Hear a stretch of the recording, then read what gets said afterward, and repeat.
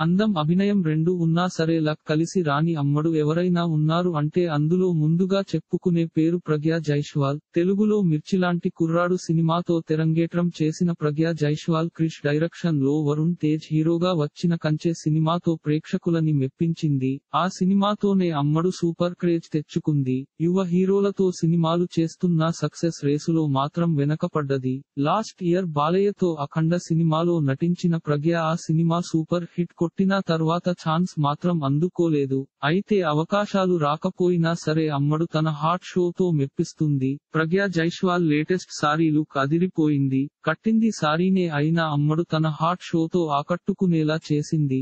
Sorry not sorry అంటూ comment కూడా పెట్టింది. మొత్తానికి సోషల్ మీడియా ఫాలోవర్స్ని మెప్పించేలా ప్రగ్యా ఫోటోషూట్స్ అలరిస్తున్నాయి ఓ మంచి ఛాన్స్ కోసం ఎదురు చూస్తున్న ప్రగ్యా తన సత్తా చాటాలని ఎక్సైటింగ్గా ఉంది. ఇలాంటి మరిన్ని తెలుగు వార్త విశేషాలు కోసం ఛానల్కి సబ్స్క్రైబ్ చేసి గంట నొక్కడం మర్చిపోకండి.